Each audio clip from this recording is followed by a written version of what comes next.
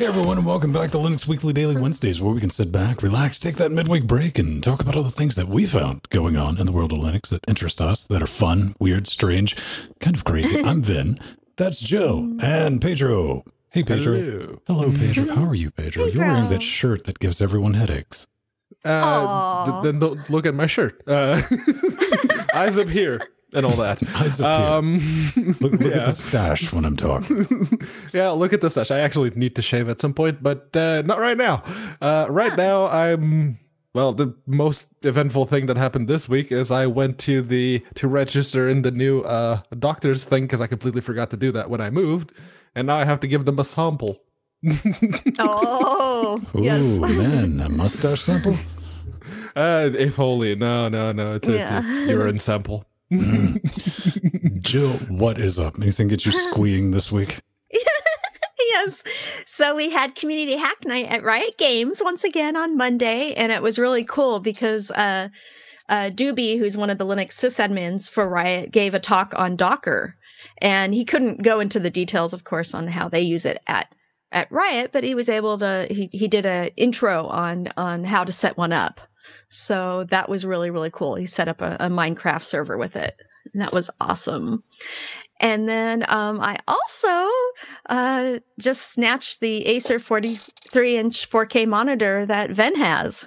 So I'm going to be dealing with uh, uh, how to where to put it. so Hashtag hail Santa. This is my arm length that it yes.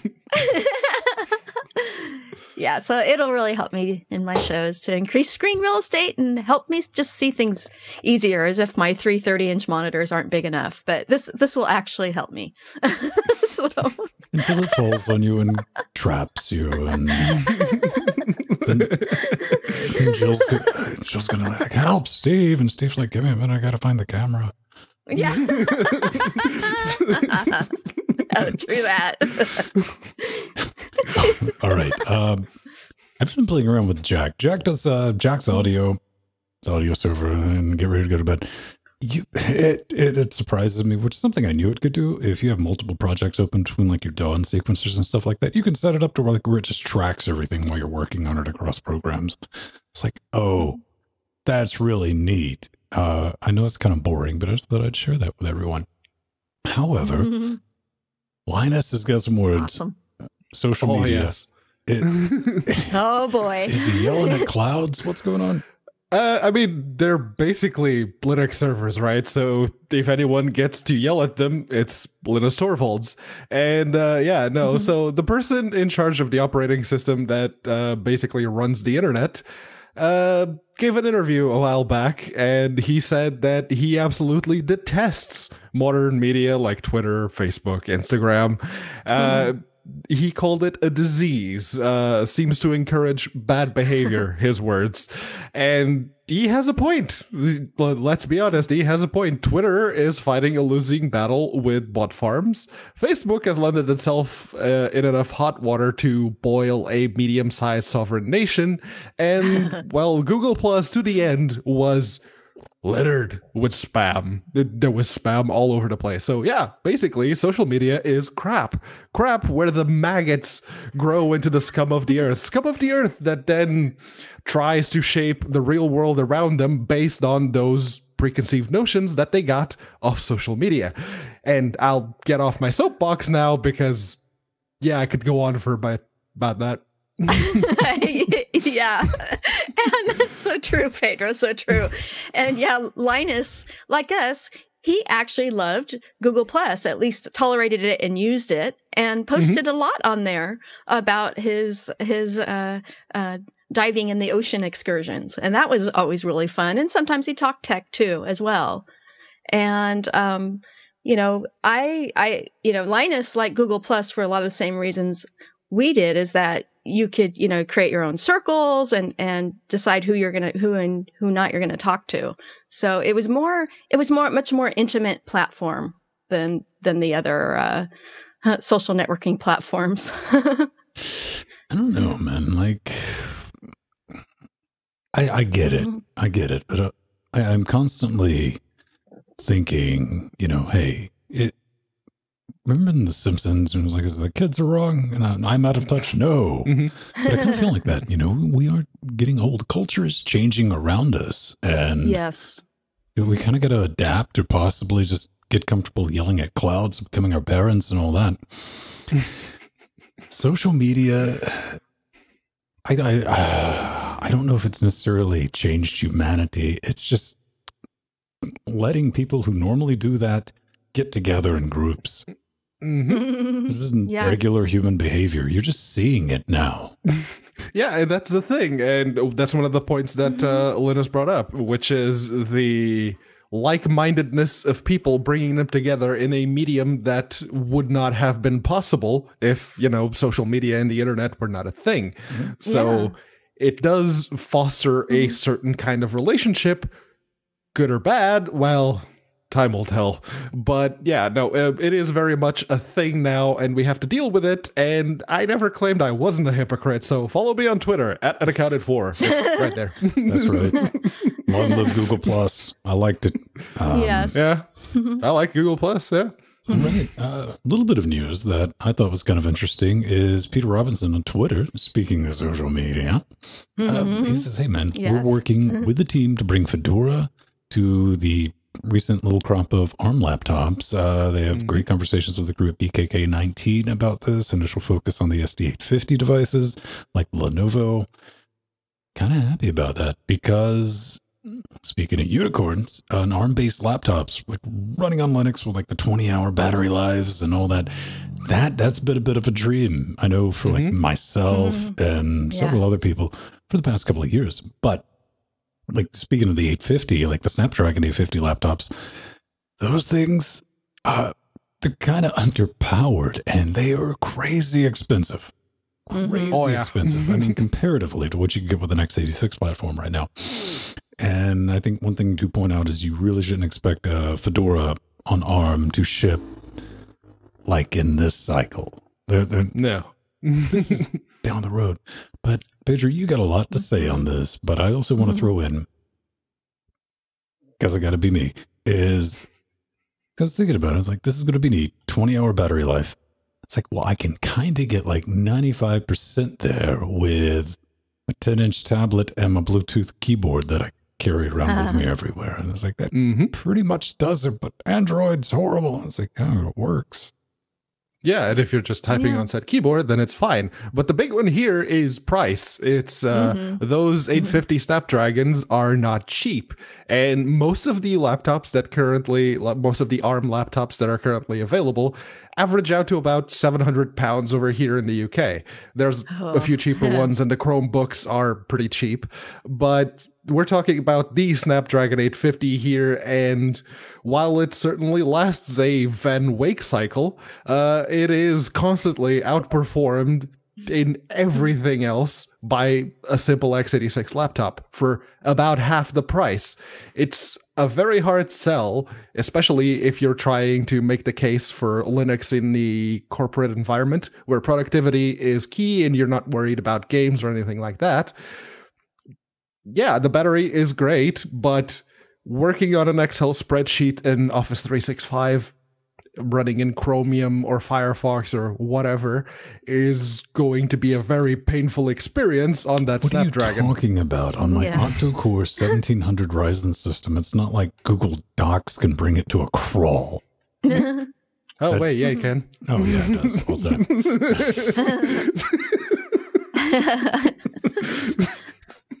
Jill? yeah so so uh, like ven and pedro were saying you know i uh, you know an arm chromebook with linux on it would would do the job good battery life uh, but um, what's nice is is the high end options that they're um, aiming this for is the the lenovo Miix 630 and the lenovo yoga uh, uh, laptops which are very very popular and um, you know, Red Hat is focusing on those devices because of the huge battery life, the 22 hour battery life under Windows, in fact. So we'll probably get squeak out more under Linux. But this is just awesome. Um, I think I think it's great that Fedora is Fedora is going for the high end ARM platform. Mhm. And yeah, I mean, this just to bring up a good point. Chromebooks, I can use like, but Chromebooks are already a thing. Yeah. then we're back to what Pedro was talking about doing everything in a web browser. Ugh. Yes. Yeah. x86 still wins on that one because yeah, that that's what browsers were built for. This is the whole thing, like back to a tablet. Android does a good job too. It's just you don't get the full flexibility. Yeah. So I mean, it if is you can very live much that, l- for that interface. yeah. I mean, if you can live that little app lifestyle, right on. But for the rest of us, oh, there's your challenge. You get your 20 hours of battery life, but you have to run Windows 10. Uh, Um, what's the alternative? There's no alternative in Microsoft's perfect world, Pedro. Okay, Purism hardware OEM partners. Yeah. So Purism was working with Private Internet Access, PIA, as its first OEM partner. Wow, this, this is really, really amazing, actually. And I, you know, I've been impressed with the progressive nature of Purism and their products, but I've realized that this will actually really put them at the next level in the industry, and they may become the new standard of security in businesses today. And this is a perfect fit for both companies that have both fought in court for our privacy protections and are aligned with the EFF. Todd Weaver, CEO and founder of Purism, was in court fighting for much stronger consumer privacy protections, and Ted Kim, CEO of PIA, was in court recently st- stating that they do not log their customers' data. So this is really a perfect fit, and it really could be a game changer. Um, this is amazing. Yeah, and uh, private internet access, as far as they're concerned, they've been helping Linux projects and open source projects for a long Mhm. time, both Mhm. financially and you know by giving them that much needed exposure. And when basically myself, I found myself in a position just like, okay, I can't access these websites that I used to be able to access while I was in Portugal, but over here in the UK, they're being blocked. So I have to pick a VPN and private internet access. Mhm. Like, here you go. That's two years for 40 pounds. How many devices? Five at once. Neat. Gimme. Nice. so yeah, it's basically the no questions asked. And, and you know, they do have a really fancy GUI uh, if you're running on Ubuntu. But in my opinion, the superior way to do it, which they also give you the script to do, uh, is you can set Network Manager to accept open open VPN connections, and the script just sets everything for you. So that's really awesome. that's that's cool. Good on them. And that's Yeah. really good Mhm. news. I, I like seeing stuff like that. Makes me happy. Yes. Also, a bunch of numbers after two make me happy. Yes. GIMP 2.10.10 um, has been released with lots of new features and bug fix- fixes. And boy, we've been, lots of us have been eagerly awaiting, waiting this release. Um, one of the major um, uh, updates was the bucket fill tool has a new algorithm for painters. You can now use the fill by line art detection tool, which allows you to fill areas surrounded by quote line arts, which fills Nice. pixels near the lines and closes line gaps automatically.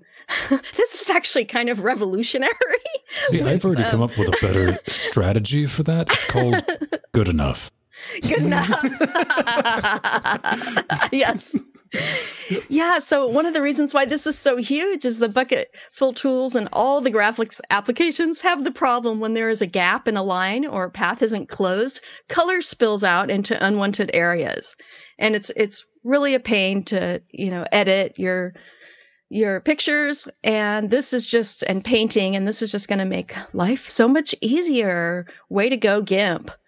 And um, also, the scale tool now scales from the center instead of the outside corner, which makes a lot more sense. and the unified transform tool defaults to preserving the aspect ratio when scaling up or down. So that's really awesome. And there's just a gang of updates. I couldn't even go through all of them, um, but I Yeah, picked some of my added favorite functionality. ones. yes, It's very, very nice to see. definitely, definitely. And thank you to the ZeMarmot project. They have contributed a lot. They're the ones doing the project that's going to make a um, open source movie from using the GIMP. Hmm. So they have, cr- uh, Nice. you know, uh, contributed tremendously. So that's one of the reasons why we're getting so many good GIMP updates. I think my pipe dream right now for GIMP is like give, give me support for vectors yeah. yes. Yeah. because Krita's okay or Inkscape. Inkscape's all right, Yeah. but Yeah. who who that user, user interface, man? That's a lot of googling. That's a lot of googling. Brilliant, brilliant Aw. work for the team behind GIMP. And Yes. open source. Let's go into. A, I want to give this a quick mention. There's Yes. a new beta for DaVinci Resolve. You know, that's from Blackmagic. This is their uh, nonlinear video editing. It's commercial, uh, but you can get a free copy that's only mildly nerfed if you want to try the home game. And this was announced at 2019 at NAB.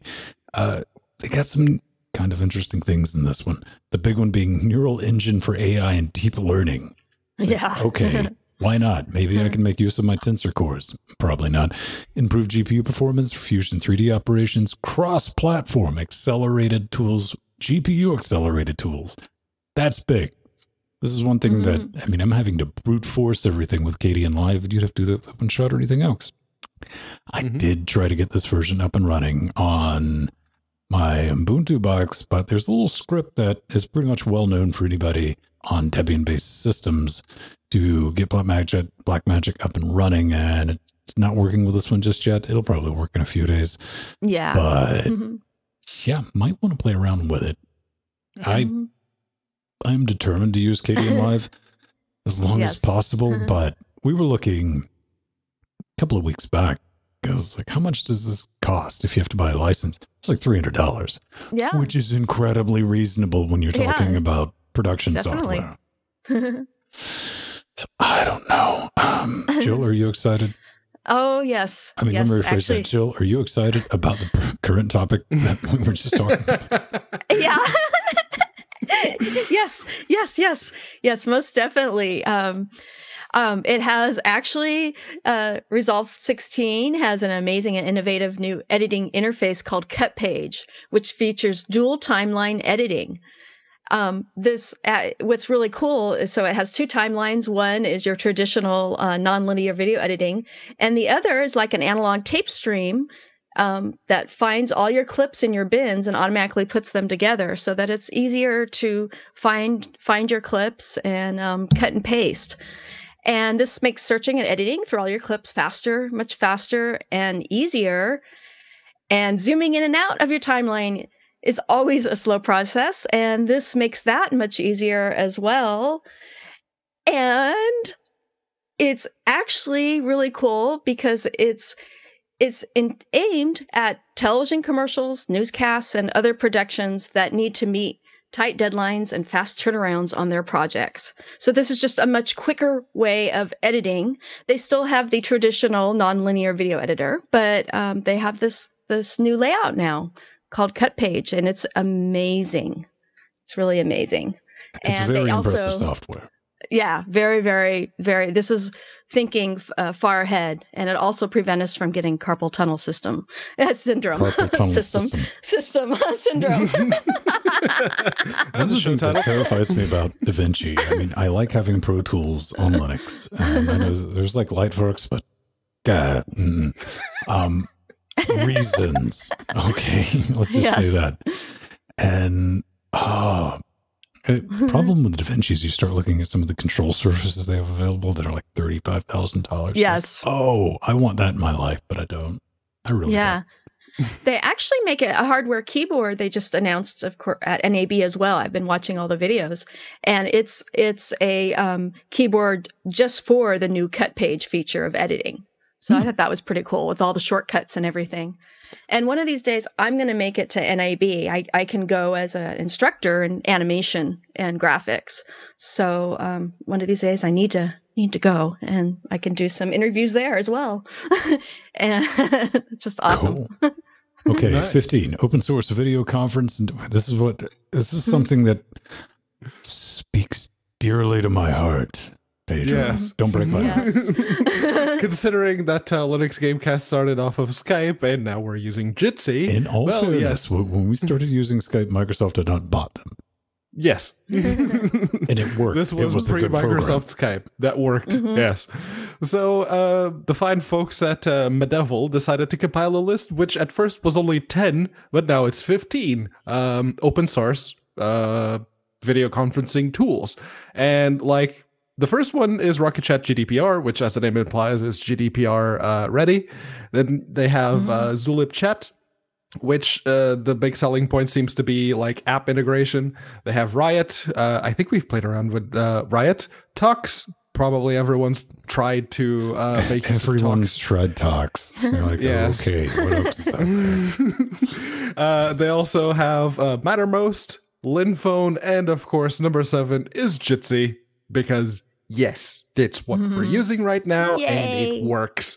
They also have uh, Jami, r- uh, whew, Rhetorosher, Dodgers. yeah, Let's go with Rotaro that. share. uh, Communicate, uh, Open Video, Apache Open Meetings. Yes, that's how it's spelled. Big Blue Button, mconf, and Linkia. Uh, so yeah, there's a lot of um open source tools, and we're not specifying open source licenses here. If you want to discuss licenses, send uh, Richard Stallman an email. I'm sure he'll be more than happy to discuss them with you. Uh, this you mean is a- just GNU email. yes. yes. Get GNU Linux. His Twitter. uh, you have a GNU email. Uh, but yes, uh, the, most of them are actually uh, using WebRTC. Obviously, uh, there are a couple of uh, standouts here and there, but yeah, most of them seem to use WebRTC, and the quote unquote selling point of some of them is how well they integrate with other services or how developer friendly they are in case you are trying to include them in your company's portfolio, which I wouldn't blame you because as someone who has to deal with Skype for business on a daily basis, yeah, find something else, please, now. Don't you want some of that lock in? What are your thoughts, Jill? Oh, yeah. Well, this is just awesome because with the advent of WebRTC open source project, there are a lot of free chat and video conferencing alternatives now. We used to hardly have any, and this is just great. And we love, of course, the Jitsies. And, you know, one of the main differences between like Rocket Chat, Rocket Chat and Mattermost is is the code they're using on the back end. Mattermost uses uses um, uh, Golang and React and MySQL and Postgres as a uh, MySQL and Postgres uh, uh, backend or li- Linux library.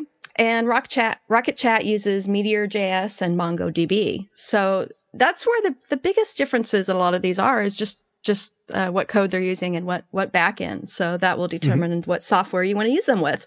So it's really awesome. I'm digging it. Um, we've kind of settled on Jitsi because Mhm. I have Venn requirements for things. It's like these are completely and wholly unreasonable, but they work.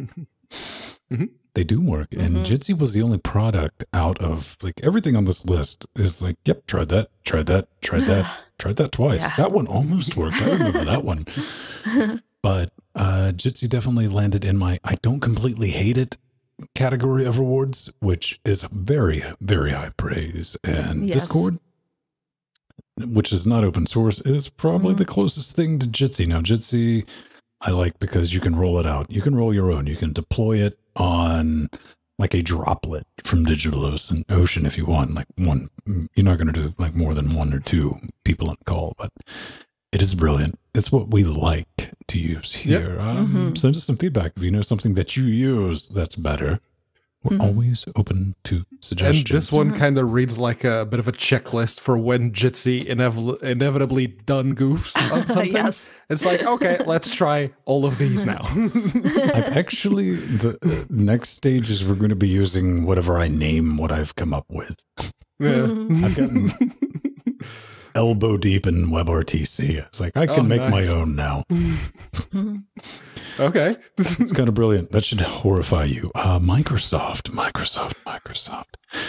Not fueling any rumors whatsoever, Microsoft and Ubuntu Maker Canonical launch Visual Studio Code Snap for Linux. Yay! Our long national nightmare is still blatantly present. However, we do have a snap officially from Microsoft because you're saying, Vin, hey man, there's already been a snap, a visual code studio, and it terrifies me, which I'll say, yes, you're correct. But this one is directly from Redmond.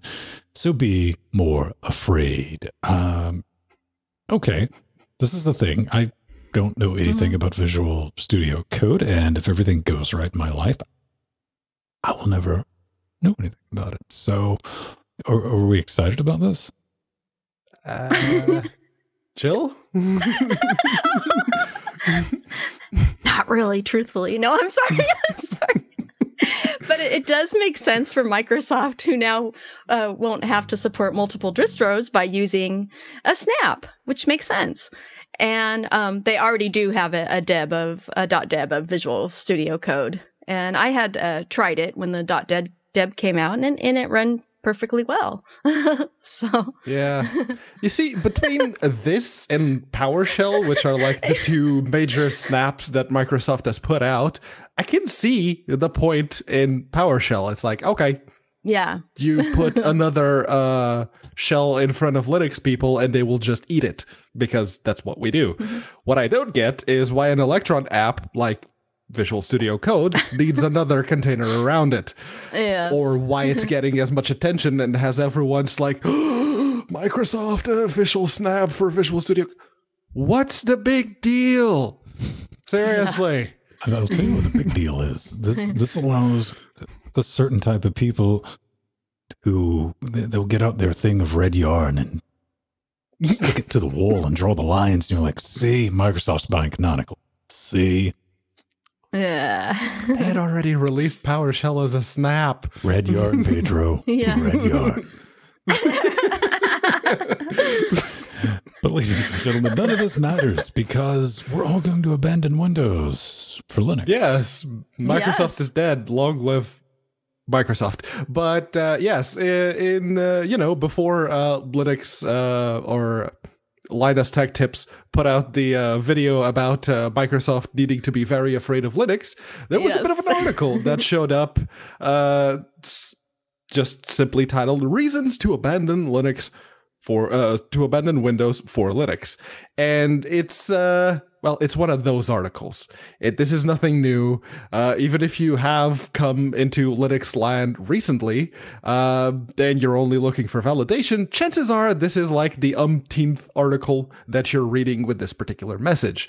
Yes, it's more secure. Uh, there's less bloat. There, it's um, there's uh, like software you get it from a repository or a store if you want to call it that. Uh, so it's all centralized making it even more secure on top of that. So yeah it's the usual stuff. If you've been using linux for a while this is literally nothing new. Now if this was an article titled the like adobe releases the creative suite on some linux flavor that would be the turning point. That would be the kind of article I'd be going, oh boy. Most people who do this for a living have already abandoned Adobe, so Yeah. Yeah. I don't know. What- Uh, I mean, it's got it's got the more the better. Somebody's going to read that. Is that going to make them change over to, from Linux to Windows? No. You you got to have that one. You got to have that need. You got to have that desire to be okay. I am going to nuke and pave or dual boot, which you'll probably end up nuking and paving because you'll mess something up the first time you do it. Uh, However, you know, the if you're thinking about doing it, you know, like the whole idea of convincing someone or getting them to run Linux, what that grain of salt that genuinely has to be there, and I mean it does, is I like learning new things. I like a challenge. and I said on Twitter, it got a little bit of love. I was just thinking about it, and this is not an original thought by any means, was Linux is not necessarily difficult in any unique, strange way. It that's not the hard part. The hard part for people seems to be unlearning Windows. hmm That is the Yeah. common complaint, the common thread that I've seen. Tying things together. It's like, but Windows does it this way. It's like, yes, and that is a textbook example of the wrong way to do it. So let's not bring that over to the Linux ecosystem. Yes. Just because that's what you're used to, it doesn't mean that it's the right way to do it. And they do touch on that in this article on the uh, closing thoughts. Yeah, it's unlearning Windows. hmm Keep that in mind. Please keep that in mind, ladies and gentlemen. Uh, but snaps, you, you like all the portable stuff, Jill?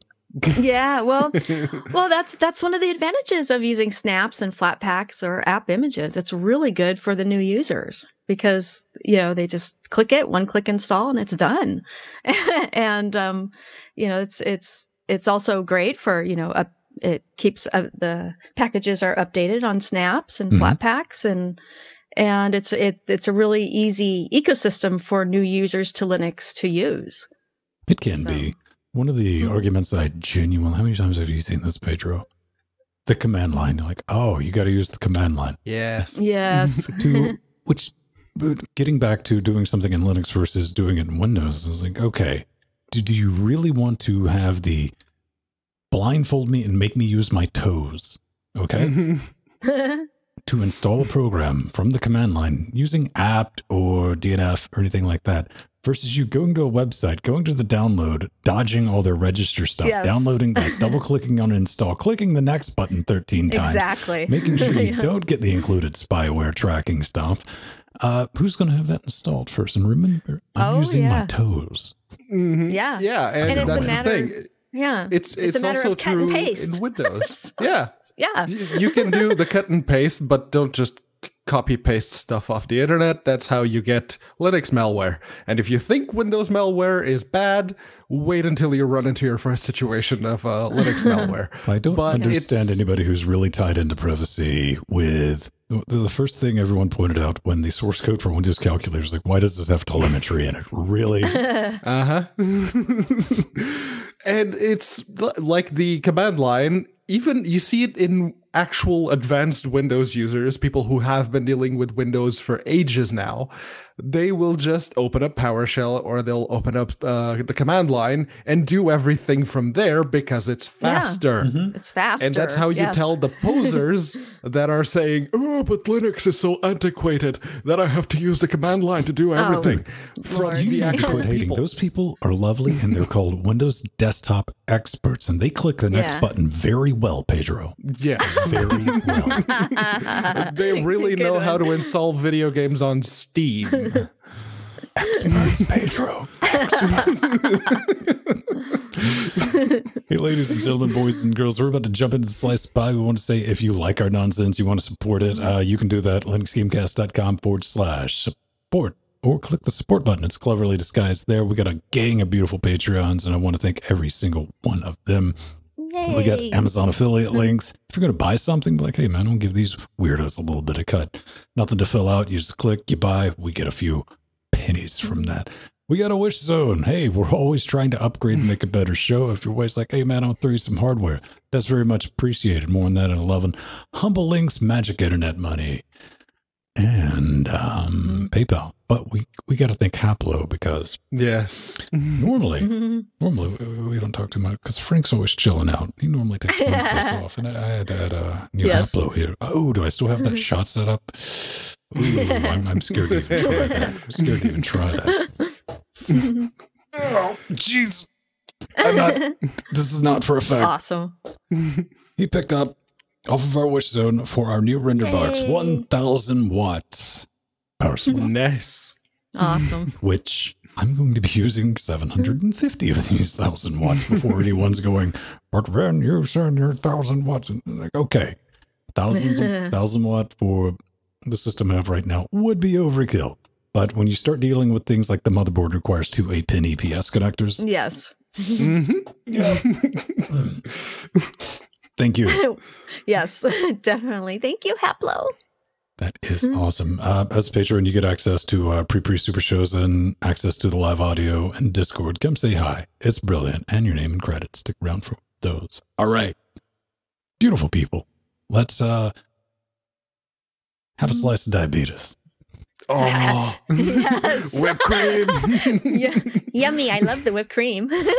Ooh. oh. so this is an awesome, actually, an awesome slice of pie. This is Log to RAM. Log to RAM extends SD card lifetime by saving log files to RAM for a configured set of time and then to the flash card, reducing the number of write cycles dramatically. And in this example, the author's own LoRaWAN. I'm saying that wrong. I know. Laura. What if you said it right and that's really the person's like, no, you had it right, Jill. Yeah. yes. Laura Wan Gateway, which has already transmitted more than 30,000 uh, 30,000 messages, uh, uh, uh, greatly benefited from this. And um, yeah, so he so he he or she talks about it in the article um, ab- about how uh, they were worried about the uh, you know SD card in the Raspberry Pi dying soon because of all the write cycles, because that's definitely an issue with Flash, uh, with Flash devices. So um, they set up this uh, this wonderful piece of software that allows you to set a timer, you know, on um, how how many times the flash card is written to, and It's with log to swappy. RAM you can do that. It's swappy. It's swappiness. Yeah. Swappiness. yeah. That's the one way to go about doing it. Um, if you do etc. rsyslog config, there, just go look in the show notes. There's a very easy way to just disable logging yes. completely. Because all right, and like logically, if you're looking like nine times out of thirteen, this is a dumb device that might probably not even internet facing, and as long as it doesn't like catch on fire and like run screeching through the door into the night, it's cool. You don't really need to look at logs. Also, maybe it's a really good way. Like if you're screwing with other people's pies, they can't figure out what you did. Mm-hmm. Yeah. kill the Yes. legend. uh, also, if you have one of them um, little A model pies, you really want to disable the logs because disabling those Uh. extraneous logs is very important. You don't want to put them in RAM. You don't want to put them in the SD card because that's slow. Uh, and RAM, you're already starved for RAM because there's only like 512 megabytes of it. So yeah, uh, there's actually a noticeable improvement with this uh, 3A plus series that I have. When you disable the logs, it's like, oh, it even boots faster now. All right. Mhm. SD cards, man. Yeah, uh, you can have you know boot off SD to um, an SSD or something like that. And Yeah. I, I just expect I don't even bother with any of these because I fully they're they're sacrificial. SD cards. Mhm. Yeah. Yeah. Dime a dozen now. yeah. Yeah. So unlike um, SSDs or NVMe SSDs, which I'm about to buy one of those just to watch it burn. It's going to be fun. Okay. Small mm-hmm. slice of pie, but we're full because it's got whipped cream. Pedro, how can they get a hold of us and tell us what we got wrong this episode? Well, you can always try and chase us down on horseback and lasso us like the animals we are. But if you'd like to, you know, throw some feedback our way, go to linuxgamecast.com, hit the contact button, make sure you pick LWDW from the Smash shows. that contact, but we're trying to get the Smash kids. it. We're trying to get but yeah, make sure you pick LWDW and just give us all the details that it asks for it. There's there's not even a captcha there anymore, so you have no excuse not to send us some feedback if there's something you need to get off your chest. Something we got right, something we got wrong, something you feel like we missed that you should add. By all means, let us know. We'll be happy to feature your comment right here, right now, like these lovely people. Jill, why don't you start us Yeah. off? Yay! So this comes to us from our wonderful Zoe in chat. Mhm. So I try not to fangirl so hard. I don't understand. I don't understand why people say they wouldn't consider Open SUSE on their desktop machines and consider it only for servers or in the enterprise. Personally, I find it easier to use than Ubuntu, given YAST, Zypper, and related tools that mean it is, it is easier to configure and set up the system in many ways without having to delve into config files manually, and the easy one click installers for software on opensuse.org. Oh, and I I agree with you fully.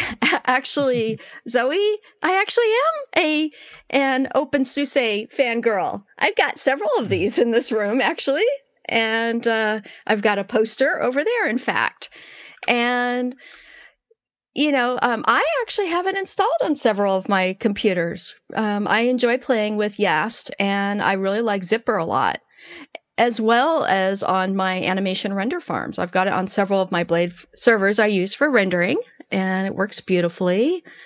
And I've actually always loved the innovation and community partnership that OpenSUSE shares with SLES and enjoy attending the SUSE Expert Days conference every year.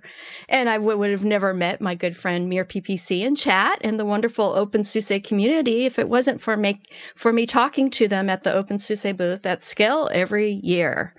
So yeah, I I love the distro. I think it's fun, and um, I enjoy. I've tried both Leap and Tumbleweed, and um, usually use Leap, but uh, Tumbleweed is fun also. Okay, Jill. And- So to your point, you make a lot of uh, very good points about around Susie. Uh, but uh, Yeah. what distribution are you currently running on the computer that You you're guys are doing getting- this very show on? At the mo at, at- at the moment, Ubuntu eighteen point four point oh four point two. Yes, Windows you have a good point. Go but ahead. I have I have used Solus. I have used Fedora before to do the show with. Yes, uh, And- there's a lot of distro names, and none of them is Open Susie. Yeah. Freejack brought, Freejack brought up a point in chat, which I actually agree with. Susie has its place. yes, definitely. It definitely. does. Mhm. It's not on a home desktop, but it has its place. Hmm? Aw. It's not necessarily something that I pick on regularly, but Yeah. yeah, I do get a chuckle because I know Michael in Discord. He is a huge proponent of Susie yes. to the Mm-hmm. same extent Mir is, and there, there's always like this from the mount warning of like I'm going to update my Susie box. If you Mhm. don't hear back from me, send help Yes. every time. Yeah, that's the thing. Uh, OpenSUSE is if you're running in a slow update cycle enterprise uh, environment, yeah, use it. Mhm. If you're running it as a desktop operating system on your home PC, unless you're going to nuke and pave whenever there's a 300 megabyte update coming Remember- down the remem- line, Remember Yeah. the feedback section? I look forward to it next week. You Yes. just open it up. I will say this. I will say this. Um, for an LTS, workstation box is going to be running 1804. And Done. Mhm. If it wasn't for that, that's where I'd go. I'd go to Susie. Because, Yeah. I mean, if you are looking for a workstation, we're not talking, but then again, I'm not saying desktop. yeah. no. I'm not. I I know. I know you're out there and you're like, it's a perfectly, it works as a desktop, but like, that's not what I'm looking for on my desktop. works is kind of Yeah. the bare minimum. All right. What do we have up next? we have XFCE. That's your favorite topic, then. Never heard of it. yes. What's Um, Mike writes in, Happy anniversary, Joe. It seems like only yesterday. It's happy anniversary, Joe. Aw, thank you, Mike G. I agree with half that sentence. Um, I love and respect Vin and Pedro. Aw. But I appreciate your takes. So, XFC is fallible because we were addressing some issues Mhm. found in XFC. So I know there's an appeal to the Windows for Workstations 311 aesthetic. No, sweetheart. It's CDE. CDE. That's Yes. what I grew up with in the job. but I would expect to work properly at it. To be fair, I use XFC on several VMs because of how nimble it is. Okay. now, XFC is not perfect for anyone playing the home game. It's got quirks. Mhm. It's got quirks, and Mhm. they are reliable, reproducible quirks, and none of them are oh Yes. X crashed. Ever. Yes. There's Yeah, no Katie. showstoppers. Yeah. Pedro's Exactly. got Stockholm syndrome with KDE. He's like, oh, so good. Hit me again. Mm. 515.2 actually fixed most of the issues I was having. So See, there's that. the words will never come out of my. I would be on a different desktop manager. Oh, it fixed most of it. It's it's the good type of cancer. Really, I was on Mate. I was on Mate for the best part of last year. until those checks stop showing up. That was there was one big check in you know GTX 1080 shape, and uh, I will look. I like GNOME 2. I liked uh, I I like Mate. It's just GNOME 2, but with the GTK 3 uh, functionality added in and all of the new stuff that you're looking for in a desktop environment. Mhm. But when it comes to like properly managing Windows and doing complete desktop stuff. Mhm. Nowadays, now with KDE 515.4, I think it's at right now, KDE is actually pretty good. Yeah. That's it. Pretty good's not what I look for in a desktop. That's the thing. Uh, the one thing I would have to complain about is the if you disable compositing, Mhm. the stuff like the clock and the taskbar they Yes. freeze in place. They still work, but they're frozen in place. Whatever composited layer uh, was on there, it's just frozen there. So that needs to be fixed. That's the one issue. yes. That's good. Uh, I don't think I played out. I mean, I took the Enlightenment uh, challenge. It's like, hmm, well, let's try that. And I lasted for about four days. Why? It's, it was a good desktop, but it had legitimate bugs. Mhm. Things crashed. Yeah. And no. And Yeah. I- I'll stick with my old clunky. What did you call it, Mike? 311? You means Uh, yeah. Windows. 100%. Also, why are you using GUI and VM? Hmm. also, I wouldn't have said nimble lightweight. Yes. XFCE is very lightweight and it's very powerful for Define the very nimble. low resource Hmm. Nimble, footprint that yeah. it has. It is nimble in the fact that it's faster than everything else. Eh, except LXQT, but yeah. I, I would even argue that. If Yeah. yeah. yeah, I don't know. I'm just Yeah, Mike. saying. Yeah, and as, as Mike knows, I use XFCE, or uh, right now I'm using actually Fluxbox. I actually change my uh, window manager for um, almost every show, just because I, I like to. I like. I to, like uh, introducing random, unpredictable errors into the show. well, I took, you know, I was on GNOME for a while, so I took the GNOME challenge. Um, but now I'm back to Fluxbox that I love because I've set it up and configured it the way I love it. And but I was using XFCE last week. Mhm. And um, um, sometimes I use OpenBox and uh, Window Maker is another one of my favorites. But yeah, I, I it, it would be considered old and stale, but I love it. Open box. I mean, Open box is Yeah. my old and stale go to. yeah. it's all down to uh, again like unlearning. You can use whatever you want. This is Yeah. a beautiful thing, and I don't judge anyone for using it. Like coming from Windows, you know, you're going to find like KDE to be very familiar. KDE is very Mhm. close to Windows. Gnome's kind of went and done its own thing. Like I don't, it just angers and confuses me what's going on with Gnome these days. Like genuinely, I'm not making that up for the show. I was like, wow, Yeah. stop. Trying to be Unity. And again, Unity. like XFCE is like if come from Windows, you're like, I don't understand this how this works. But I've just been using Mm-hmm. it that way for 20 plus years, you know. So yeah. works for me. Hashtag oh go check out uh the Linus Tech Tip video with Frenchie from Shadow Realm. He's Wonderful. probably passed out right now. They gave Lutris a nice little shout out. yes. Ladies Oh, and yeah. gentlemen, on that bombshell. Let's get out of here and roll some credits. Yay! Oh, and Zoe, speaking of which, I will take the OpenSUSE challenge on the desktop for a live show. I will do that at some point. And I'm really happy that XFCE is their their default platform, uh, default window manager now. So that's really cool. Oh, they finally ditched GNOME. Okay. Yeah, yeah. At Scale, we had the stickers, and someone posted the uh, picture of one of the stickers from Scale in chat. Oh, it was uh, Yeah. Truggy. Yeah. So I'm really, I was really happy about that, actually. Yeah, the, the, the, the annoying thing about GNOME is if you're watching a YouTube video in a maximized window, the video will freeze, but the audio will still be going. The moment you touch the mouse and move it around, the video resumes. Why hasn't that been fixed? Yes, I know.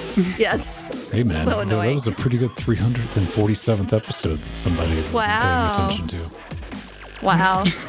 No one said anything. Boo, shame on you. Thank you, Chatrone. We love you.